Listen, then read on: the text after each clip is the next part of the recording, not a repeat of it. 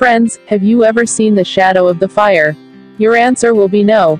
But do you know why we can never see the shadow of a fire? If you do not know, then you can also experiment on it. Whenever you light a match, at that time, the shadow of the match appears. But the shadow of the fire burning above that matchbox is not visible to us. But we have been told in school that the shadow of everything is seen in the sun, or light. But after all, why can't we see the shadow of the fire? Scientists say that the matchbox or candle fire itself is a light. In such a situation, if one light is taken within another light then its introduction is not made.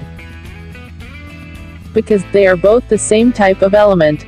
But, if you want to see matches or candles, or any other firelight, so that light will have to be taken in a much brighter light than that because nothing is brighter than the sunlight.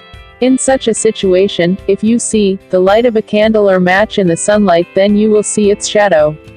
And when you look at the shadow like this, so it will be not as bright as other things, but you can see blur shadow of the fire in the sunlight.